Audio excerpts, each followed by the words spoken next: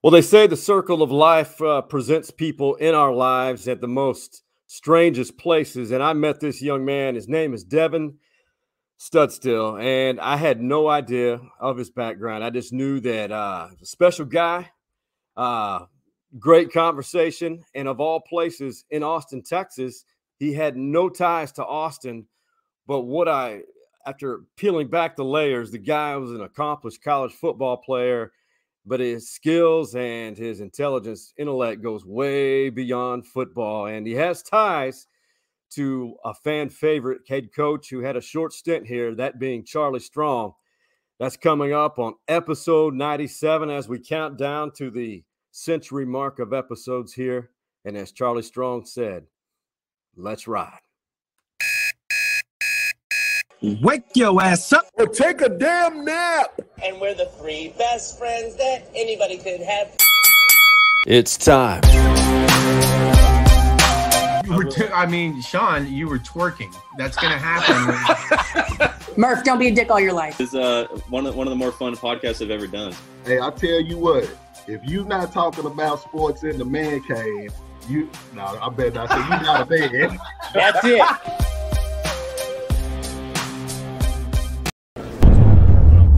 Notre Dame would like to welcome to the Fighting Irish family Devin Studstill, defensive back, Riviera Beach, Florida. Stud Steezy, my man. They have been talking about this young man since he was little. Excellent player, came to the Irish invasion and you know really wowed us. Leader, mature.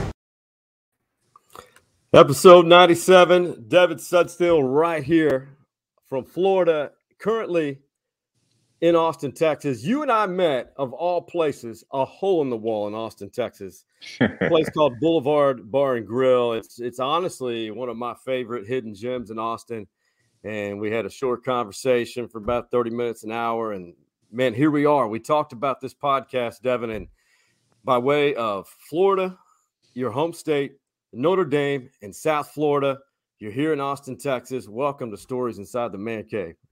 Hey, thank you for having me. Glad to be here. 100%, man. It is amazing how certain people are brought into our lives. And, you know, we're going to peel back the layers, learn more about you. And I'll set it up this way.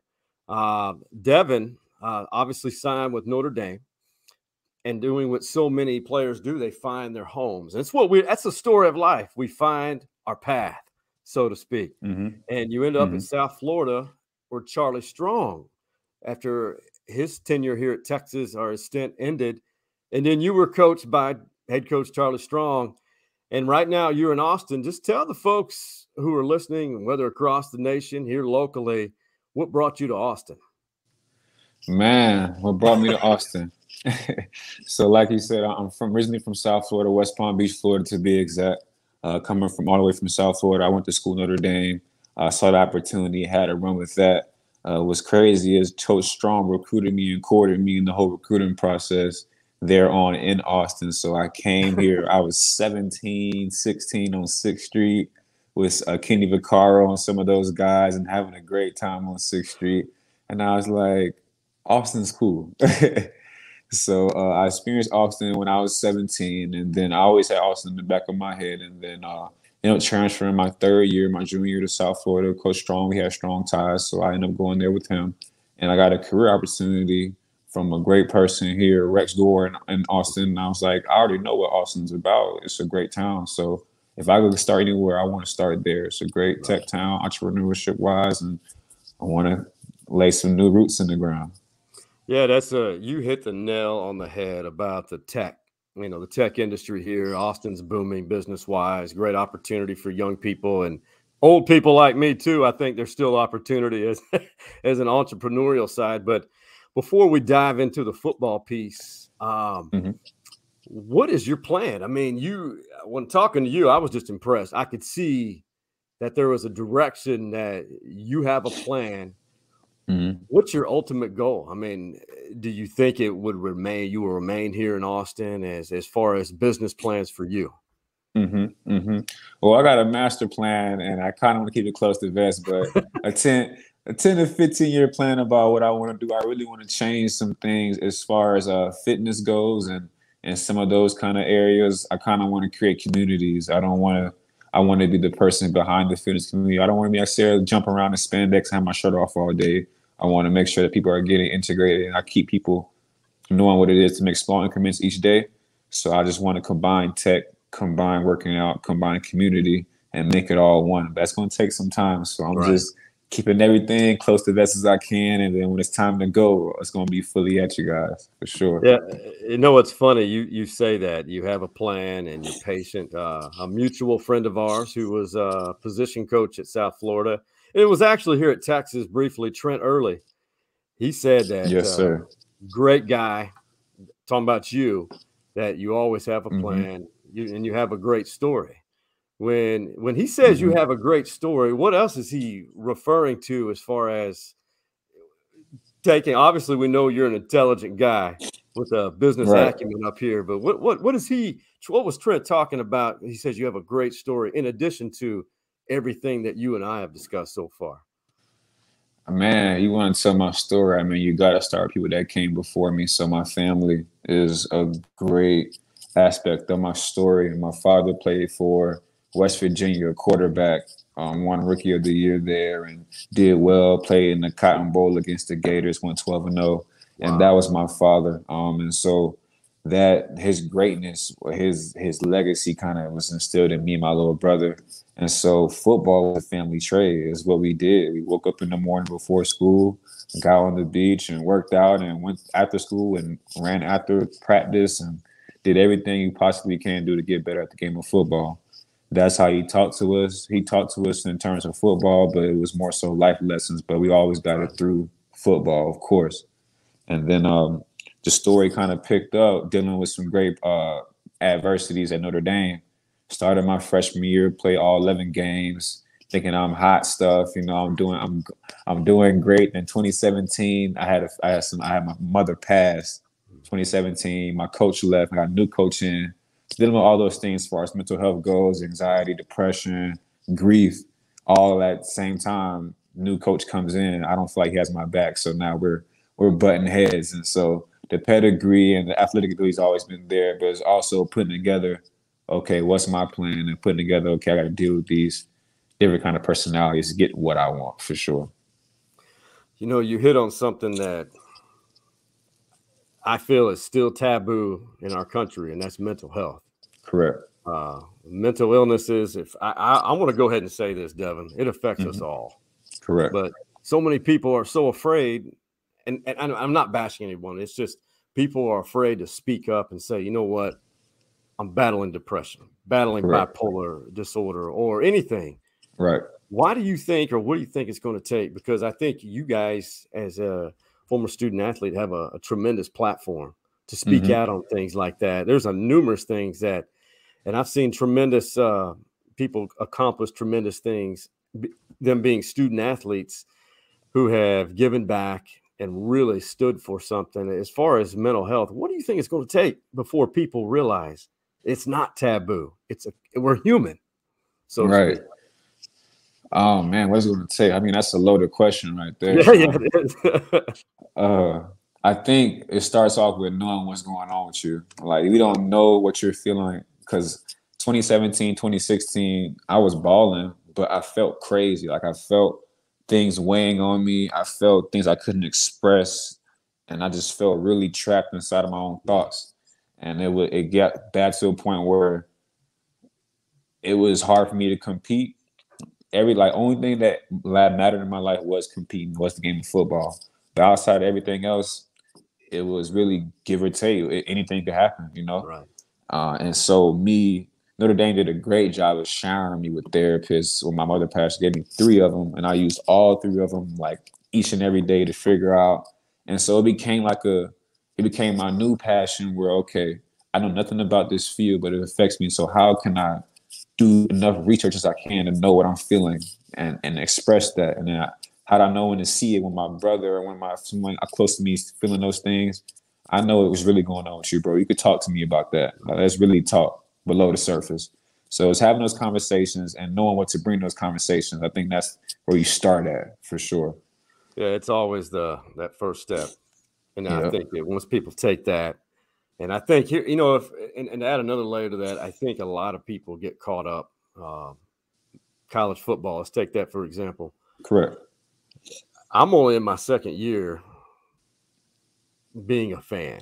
Been, having been in the media for so long, I wasn't able to really be a true fan. So I hear the things, and I know people don't mean any harm, but they they see college athletes as these individuals they praise and put on a pedestal, Mhm. but overlook the fact they're human. They're normal human beings. And, and it's the simple fact that you may just because your level of play decreases one Saturday or for a few weeks, that you may be going through something, experiencing something. Um, and that's why I asked, you know, it's I know it was a loaded question, but it's something that we as a society, or I guess as human nature, probably need to embrace a little more and try to understand. All right, that's not a piece of property. That's a human being who probably is going through some similar things that everyone else is. I mean, is that Correct. you, you kind of feel that way too? Yes, and it's it's very delicate. I would take that in a in a de- more delicate sense, where it's like, okay, well, first of all, you're a human being and you're not a pawn. That's one. But then you're putting your product, like the product of football, that's like your passion, that's your art. So like you're sensitive about it. Like I put, I'm I'm naked out there. I'm out there. I could get hurt. I could.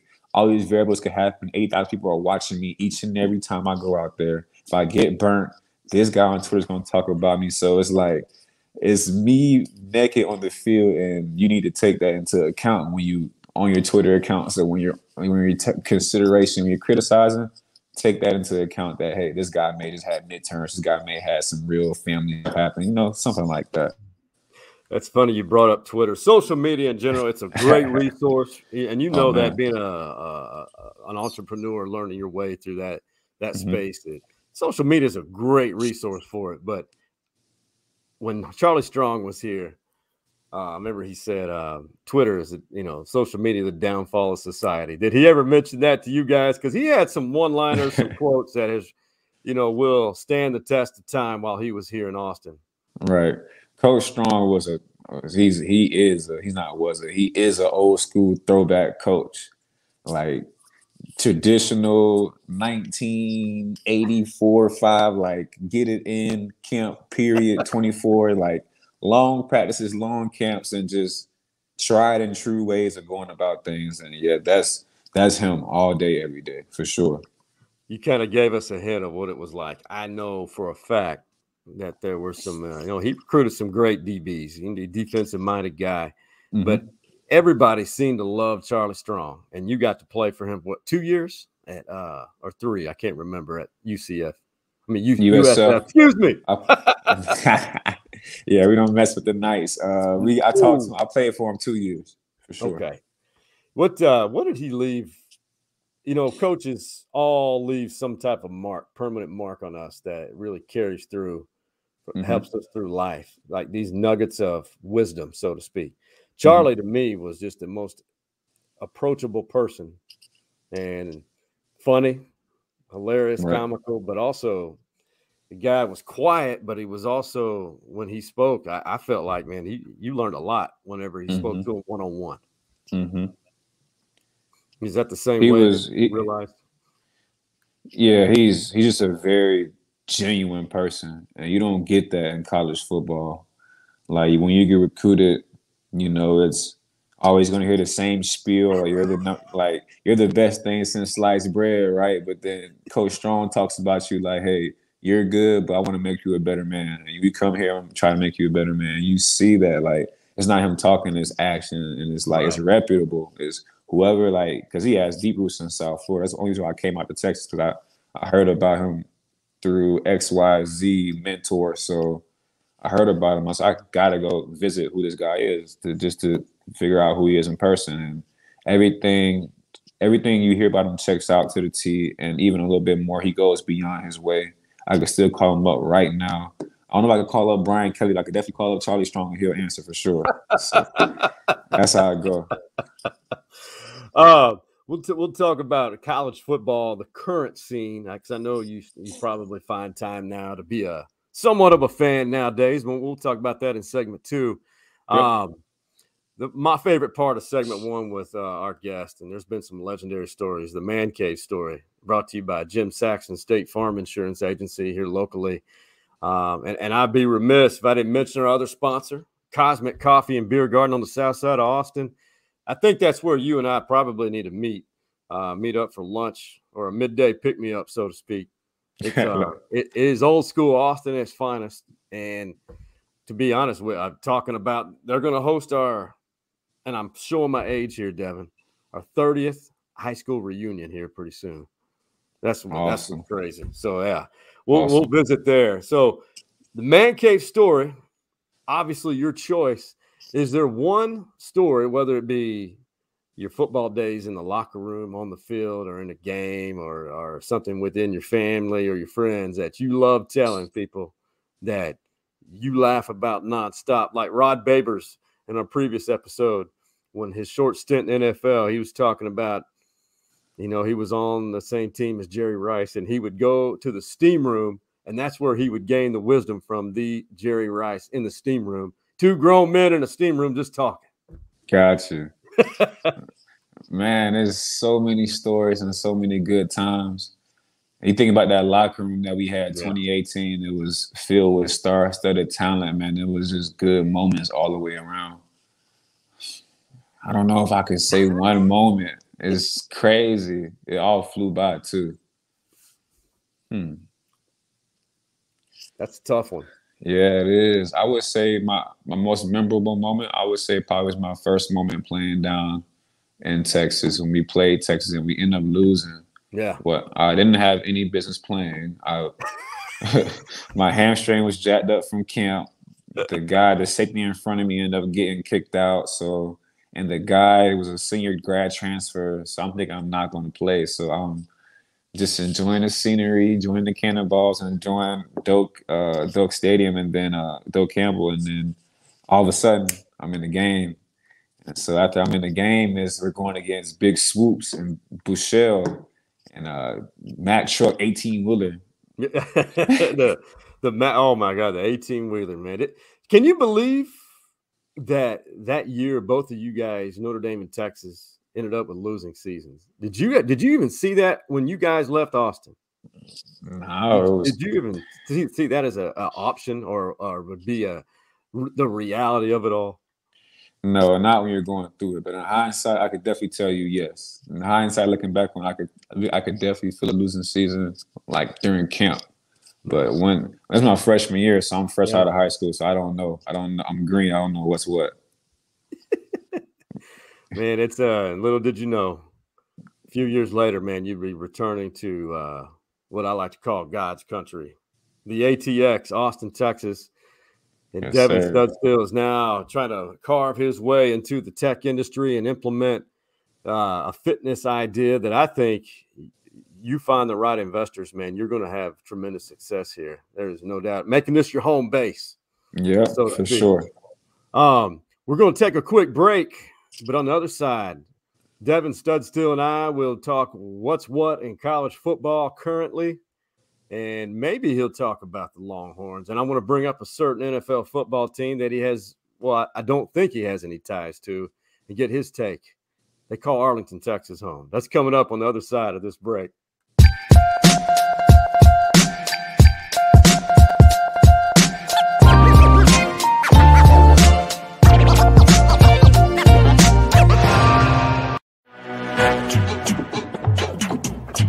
For all of your insurance needs, look no further than our primary sponsor, Jim Saxton State Farm Insurance Agency. The ATX OG has been insuring Austin for over three decades. And get this, Jim Saxton is a Longhorn legacy. He is the son of the late, great James Saxton, who was a Heisman finalist. Be sure to give him a call, or better yet, visit his website, saxtoninsurance.com, and tell him that the stories inside the Man Cave Boys recommended you.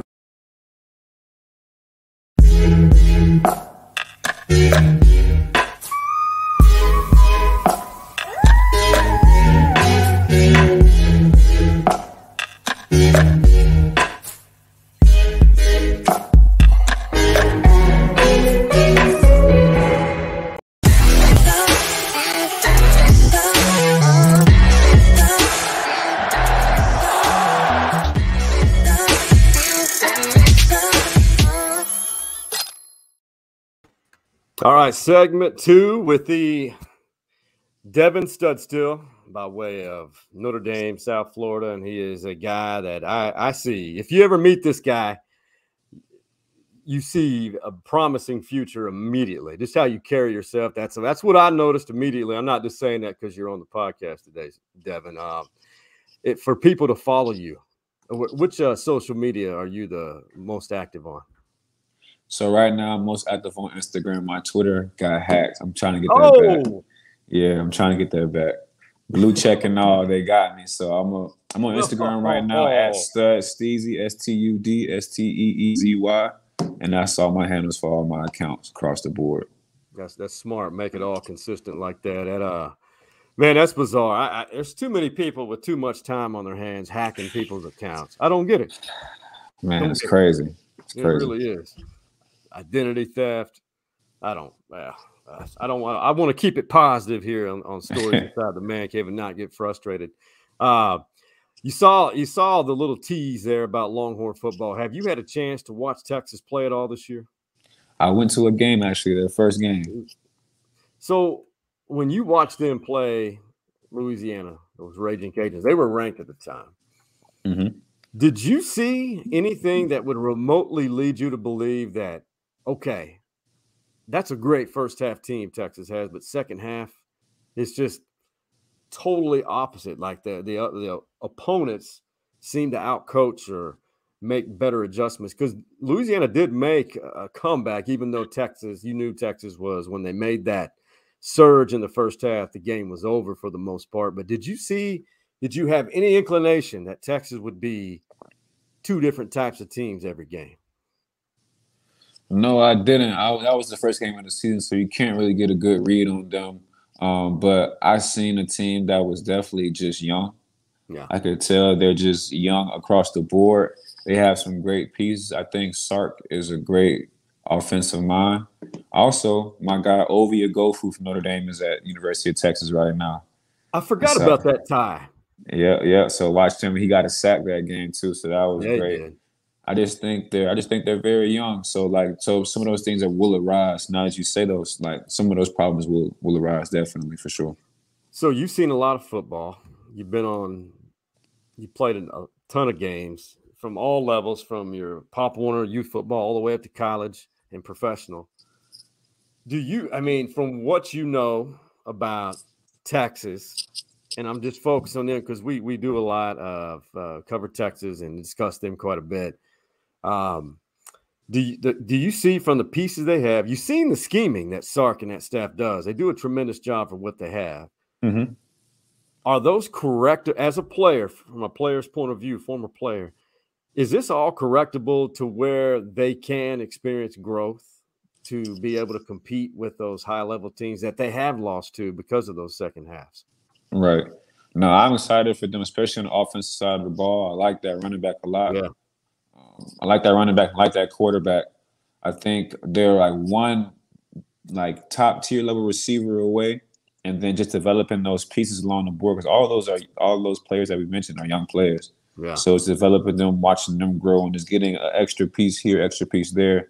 You know, Sark likes to Sark likes to take the top off of defense, so you can't really do that right now. So he's spacing them out and running the football really well right now, which is good. Yeah, and and I think you know all too well those games, regardless of what scheme or philosophy, they're all won in the trenches. And Correct. I, I, mean, I guess you see it too that they're struggling offensive mm-hmm. line wise and defensive line. The talent's not deep enough. Mm-hmm. Is, is, that kind of the evaluation you have made as well? Yeah, that's the evaluation I made. No one really popped out to me when I watched them, but I'm sure they got some guys that are capable of playing. Just to just those reps and that time on the field is invaluable. So it might be some guys there that's very well that are some dogs, but no one popped out to me that game that I watched.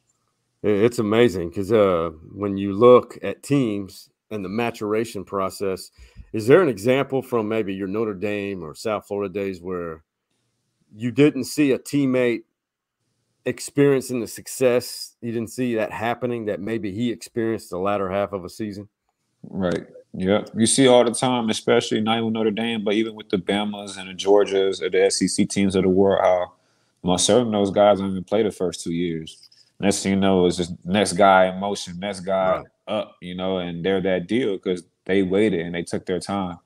Um, what I would say is just that that maturation process of actually taking the red shirt year and just figuring out who you are as a player, figuring out who you are as a person. That's gonna do a player justice. So when it's time to get in the field, it's it's clicking. It's no time to go out there and stumble. It's it's that takes a great program and and it takes some time too. I feel like no Texas coach really had time No, as of yet. no. Like, give somebody some time to actually get some things in motion and get something stable. It just hasn't been stable. So you picked up on something really quick that has been systemically wrong with the program here at Texas. And I'm not trying, I'm not asking you to criticize Texas, but it's just the fact there there's zero patience here. Mhm. It's it's money whipping people to bring them in. And Right. you you can't really blame Charlie. You, you it's it's a collective effort of adversity that a program has faced since 2009, even when Mack Brown was here his latter years. I Mhm. mean, what do you if for as a former player who played at a high level, what would you tell these Texas fans to, in addition to patience, to give this guy and this staff a chance? Man, you, you gotta let football be football, you know? That's like you being somebody, say you're a doctor, and then you got a banker making your decisions based off money.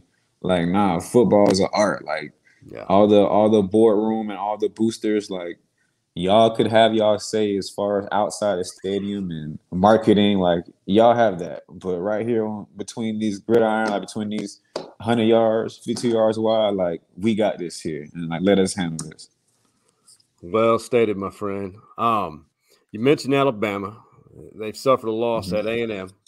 Mhm. Um, do you see Alabama storming back and winning that national championship again, or uh, who who would be as of today your college football playoff as far as the four teams, and and who who would be your national champion, or do you see some program rising up and getting into the playoffs by winning their conference championship?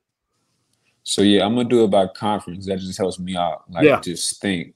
So as far as for the SEC, they're gonna have at least maybe one or maybe two teams in there. Yeah. I like the way Florida's playing, I like the way Georgia's playing. And Alabama has to now Alabama has to beat Georgia to get in. So Yeah. but it's gonna be crazy because Florida and Georgia has to play. So it's it's gonna be a good like matchup this year with SEC, like a very competitive. And so what I think I get one team or maybe possibly I would say two teams from the SEC in there. Um, Clemson's not doing that well this year, as you see, so they're out. The Big Ten has a competitive conference. They're solid. so. They're solid, and so it's room this year. That's what makes this year so crazy. It's, it's a lot of room for everybody. Yeah, I looked at one time is last week, I believe last week there were five Big Big Ten teams, all went in or outside of the top ten collectively. They're loaded. And It's unreal, man, and it's not all Ohio State. I think Ohio State's beatable. They're Yep. talented, extremely talented. Um, because you face some guys like Garrett Wilson, who Ohio State has, you know, some talented receivers, and hmm so, Mhm. how would you, other than laying the wood of the, you know, to neutralize big time receivers like that? How would you go about it? I mean, because that's the type of challenge you like as a player, facing Mm. guys like that. Yes, and I was 175 my freshman year soaking wet, so it was me and it was me and the receivers, and I would study like tendencies and which step they, which foot they put forward, and their body language when they're not getting the ball and when they're getting the ball. So those little things like that that I would prepare for as far as receivers. But I mean, if if you have a dog on your team that you could put on him one on one, like put him on him and let him Yeah. be a dog. And then if he needs some help, bracket him sometimes, maybe cover two brackets on third down plays and maybe inside shade from the backer on third down plays for the slant. Just give if you're gonna have a corner out there that's not that good, then give him one way to go. You know, See, that's what stories inside the man cave listeners and viewers want to hear. That's what the, this is the content people want. The inside knowledge of a of a uh, high level player like Devin Studstill, man, because you played it, you've seen it. That's like a foreign language to most people. And that, that Mm. is that is what we it gives us an insight on what's going on as far as uh, the secondary goes. Now, one thing I've noticed this year, I know this is really random, Devin, but uh, this storming the field in college football that wears me out. There's been so many fans, students storming the field. I get it. Some of these are big wins, and I've been witness to, I think, three. I probably saw it three times my entire life. I saw it. I went up to Arkansas. They did it against Texas. And there's another one I'm, I'm leaving off. And then I saw it at the Cotton Bowl Stadium, Texas OU. A proud program like Oklahoma, who has owned Texas the last decade, mm-hmm. and they stormed the field at the Cotton Bowl. I mean, what you? I mean, I know a big win is a big win, and you're feeling like you're on top of the world as a player. But what's uh-huh. your thought of the? Uh, I mean, like the SEC finds these programs a hundred grand for their fans. They, they oh, these fans for going on the field.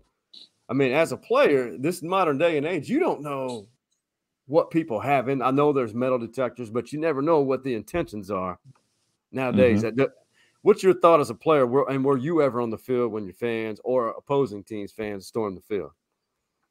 Yeah, we never had the big win where our fans stormed the field. Even though we went, he went 12 and 0 one year, but our fans yeah. never stormed the field for some reason. Whoa. Yeah, it was crazy. But I mean, we got the field stormed against us. That Texas game we lost, they stormed yeah. the field. Um, that NC State game we lost, they stormed the field. So it just depends on the school, I guess. If it's a if it's a championship for the school, then they'll go out there and they'll act like yeah. they never won before for sure. I just I, I, get it when a team like the other night, uh, I understand. Appalachian, the Appalachian State won. They upset mm-hmm. uh, Coastal, Coastal Carolina. Mm-hmm. I get that. They beat a ranked team at home. I get that. But we're seeing it so often nowadays, and I'm just like, wow. I don't know yeah. why. I don't want. I hope it's not me being an older guy, just against it being too traditional. But man, I'll tell you what. One team that I might storm the field for. I don't know, but it, it would probably. I don't know. Yeah. Who would you storm the field for? That's a great question. It may be these guys right here. If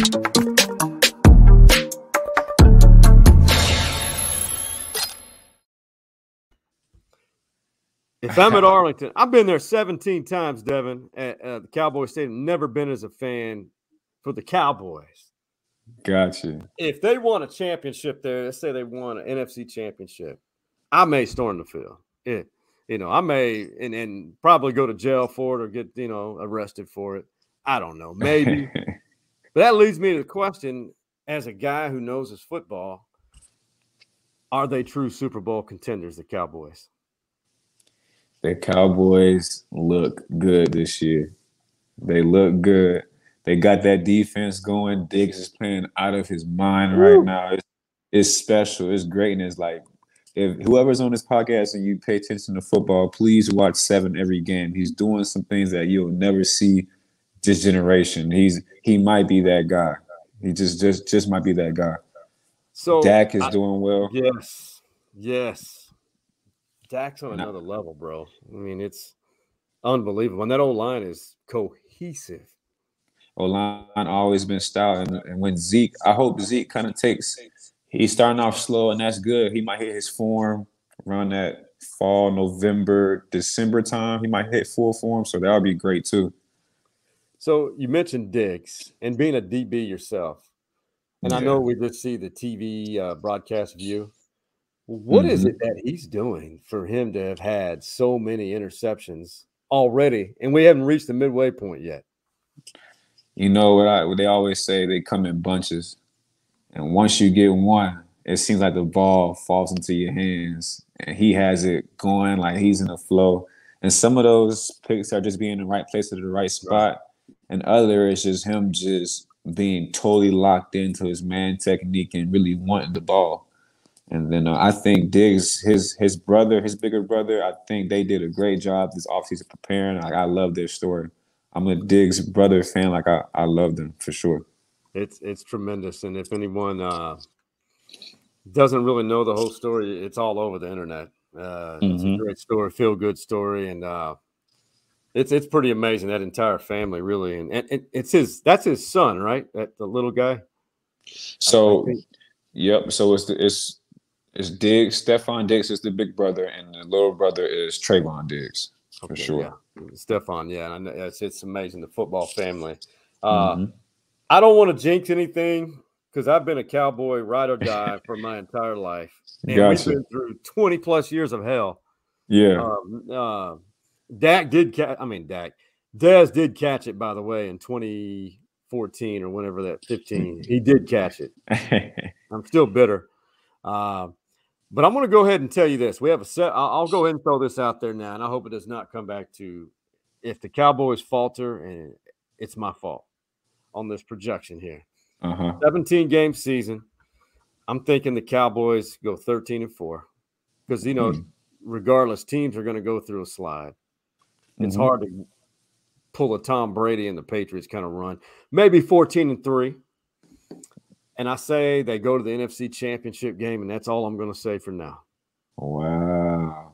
I got another prediction for you. What do you Okay. think they win Thanksgiving Day? Do you think they pull that off this year? And they're playing Detroit, correct? I think so. I got to Yeah. check.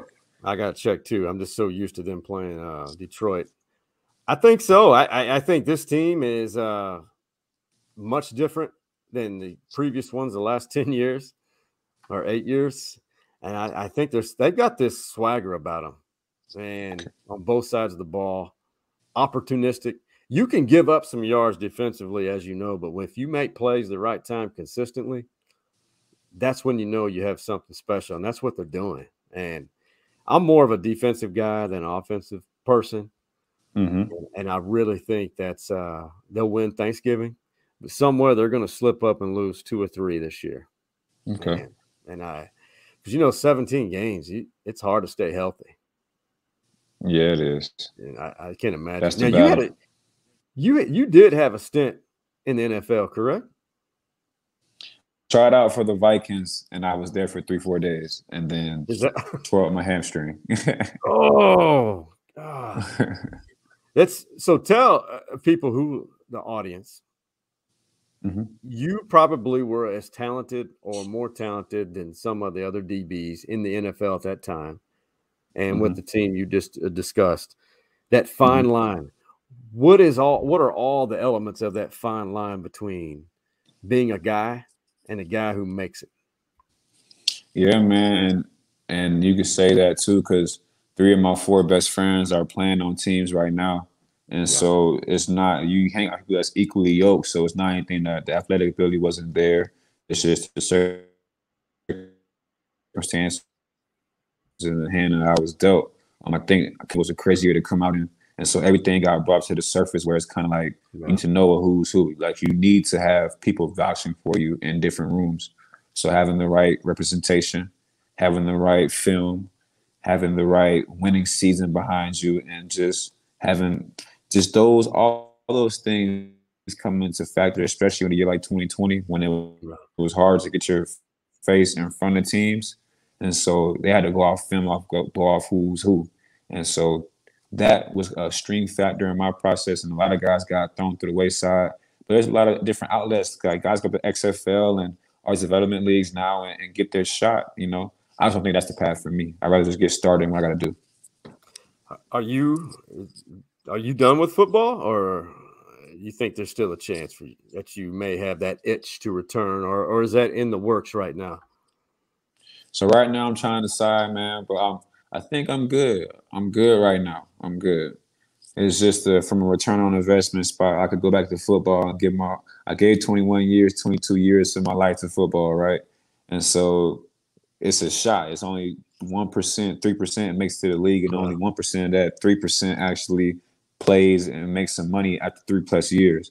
And so I got insight through my guys and my best friends, and they tell me the real deal about what's going on there. And I I know how that game goes, and I- I love the game of football from a passion. perspective. I don't want to mix the business at this point. I'd rather just have my business and do what I do is, and keep football Right. just unfiltered. Like just keep it, keep keep a love for it. I don't want to get into all that for sure. I, I perfectly understand that. That makes too much sense. You know, that's that short window of opportunity. But like you said, collectively, over two decades playing that great game, man, you uh, you had a great career, And Mhm. what we like to do, how to end this thing. We love, I love positivity. We all love it. And that leads us to this, the final segment of episode 97 of Stories Inside the Man Cave. Hey, man, tell me something good.